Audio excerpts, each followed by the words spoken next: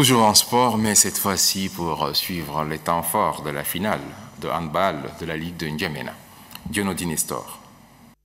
Cette finale de la Ligue de handball de N'Djamena a drainé un public nombreux au terrain de l'Institut national de la jeunesse et des sports. Au programme, deux grandes finales pour la fin de l'édition 2017. Chez les hommes, la finale a mis aux prises le club SOS en maillot blanc face au champion de 2016, le club Académie. À l'entrée des jeux, les joueurs du club Académie ont montré leur supériorité. Malgré les efforts consentis sur le plan technique et la multiplication des actions, le club SOS est tombé arme à la main face au tout-puissant académicien sur le score final de 22 à 35. La troisième place est revenue au club d'As Dragon. Chez les dames, c'est le club des jeunes stars qui a croisé le fer avec le champion de 2016, Petrosport. L'équipe de Petrosport a conservé son titre de championne devant son adversaire Jeune Star. Le club de la caravane blanche du lycée Félix Eboué n'a pas démérité et s'est contenté de la troisième place. La Coupe de la Ligue de handball de N'Djamena a vu la participation des 14 équipes au départ.